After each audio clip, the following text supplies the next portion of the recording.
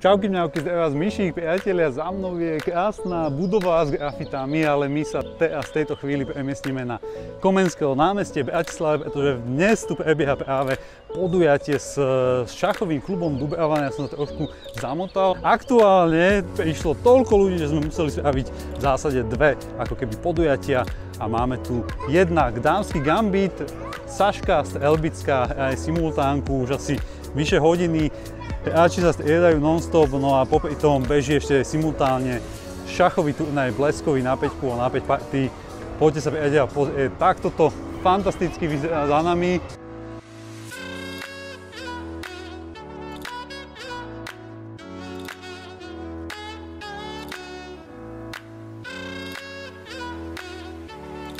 Zmenu chlapci na veľkej šachovnici, vám to takto vážení diváci približím, hrajú tzv. štvoru, už asi tretia partia. Takže aj veľkú šachovnicu sme sa nielen dotiahli, ale zároveň aj zapojili.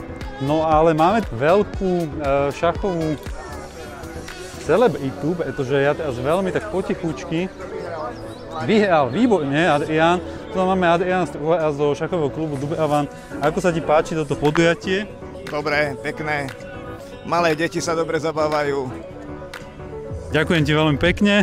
No a ja takto iba natočím kamerku, pretože pred vami priatelia Chess Underground alebo Twitch Kuskando vidíte boj o medailové pozície Tomáš Belica, ktorý zvykne takisto aj komentovať partie a toto je doslova, že priamom prenose hraje svoj prvý živý veľký turnaj.